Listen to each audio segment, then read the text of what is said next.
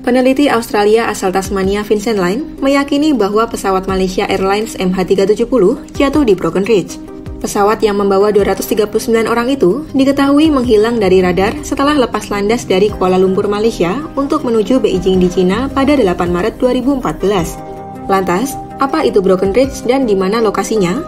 Dikutip dari DBpedia, Broken Ridge atau juga disebut Broken Plateau adalah dataran tinggi samudera di tenggara Samudra Hindia. Lokasi itu pernah membentuk provinsi Beku Besar atau Large Igneous Province bersama Kerguelen Plateau. Ketika Australia dan Antartika mulai terpisah, Broken Ridge dan Kerguelen Plateau dipisahkan oleh Southeast Indian Ridge. Di peta, Broken Ridge tampak berada di barat daya Australia, membentang sejauh 1.200 km dari ujung selatan 90 East Ridge dengan lebarnya mencapai 400 km dengan kedalaman hingga 1.000 meter.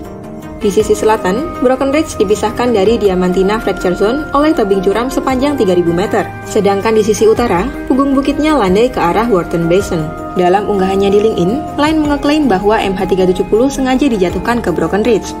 Dikutip dari NDTV pada Selasa 27 Agustus 2024, peneliti itu mengatakan bahwa kesengajaan menjatuhkan pesawat di wilayah itu mengubah narasi hilangnya MH370. Lebih lanjut, lain yang bekerja di Institut Studi Kelautan dan Antartika Universitas Tasmania menjelaskan, kerusakan pada sayap, flaps, dan flaperon menunjukkan pesawat melakukan pendaratan ke air mirip yang dilakukan Kapten Chesley Sally Salenberger di Sungai Hudson, Amerika Serikat dengan US Airways Flight 1549 pada 2009. Hal itu membenarkan klaim awal bahwa MH370 memiliki bahan bakar dan mesinnya menyala ketika melakukan pendaratan di air.